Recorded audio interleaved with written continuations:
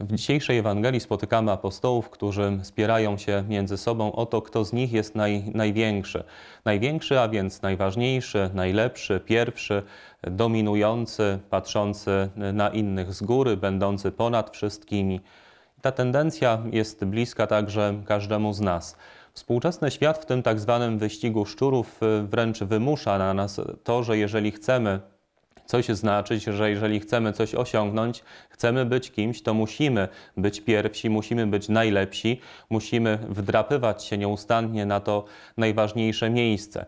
I niestety sprawia to, że człowiek człowiekowi staje się wilkiem, że przestajemy patrzeć na siebie jako na braci i siostry, a zaczynamy postrzegać drugiego człowieka jako rywala, jako konkurenta, którego można zniszczyć, podeptać wszelkimi możliwymi i dostępnymi sposobami.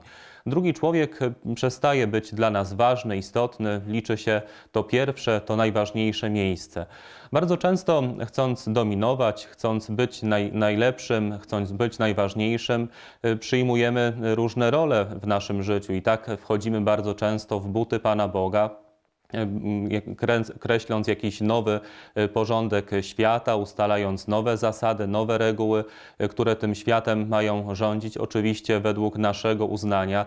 Bardzo często przybieramy rolę premierów, prezydentów e, państw, uważając, że pod naszymi rządami ten kraj wyglądałby zupełnie inaczej.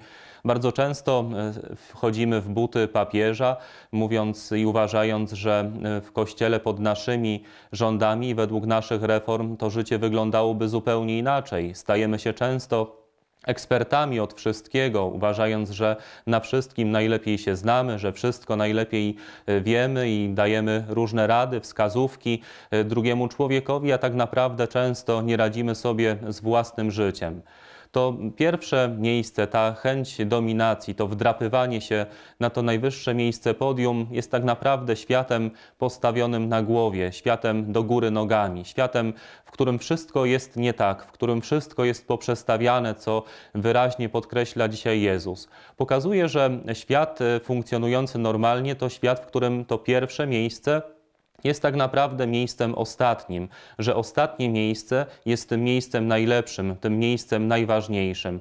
Dlatego, że na ostatnim miejscu widzimy wszystko w pełnej okazałości. Widzimy świat, widzimy drugiego człowieka takim, jakim jest w rzeczywistości.